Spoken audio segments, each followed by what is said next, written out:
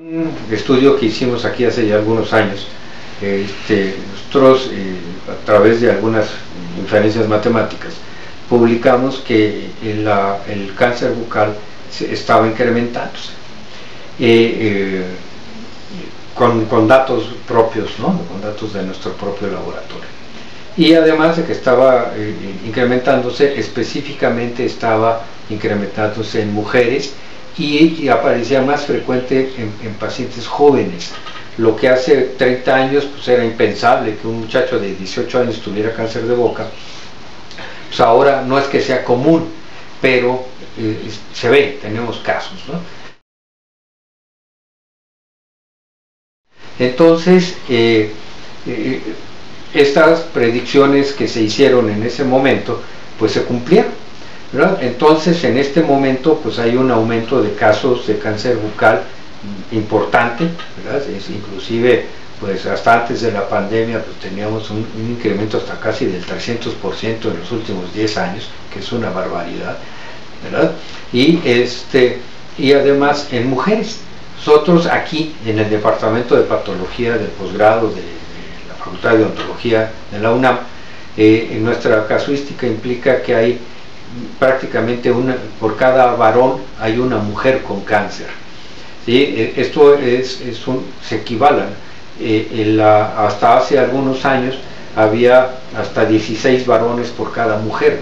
Sin embargo, ahora, a partir de los años 90, empieza a cambiar eh, estos perfiles, Y ahora eh, tenemos prácticamente la misma cantidad de mujeres con cáncer que de varones con cáncer de boca.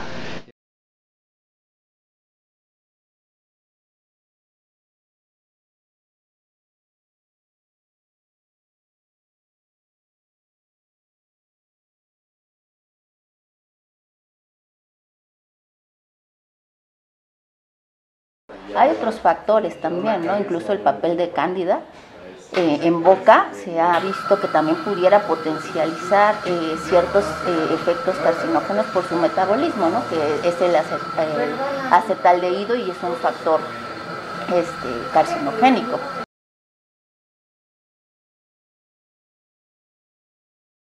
Hay dos maneras de presentarse el cáncer en boca. la primera, que es la que nos importa más, es que hay ciertos cambios que sugieren que se va a formar cáncer ahí, o que se está transformando las mucosas en cancerosas. Y esas eh, lesiones, que se llaman así potencialmente malignas, eh, empiezan por cambios de color, y entonces la mucosa de ser rosa se vuelve blanca, o se vuelve roja, o se vuelve pigmentada, café, negruzca.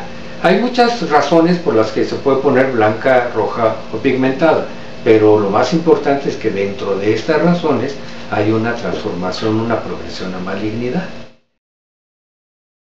Varios casos, sobre todo que nos ha impactado en cuanto a que llegan con ya eh, el tamaño del tumor y el avance es bastante. ¿No? Y lo que nos impacta es que ha pasado por varios eh, médicos y odontólogos sin haber eh, dado un diagnóstico certero o haberlo remitido oportunamente.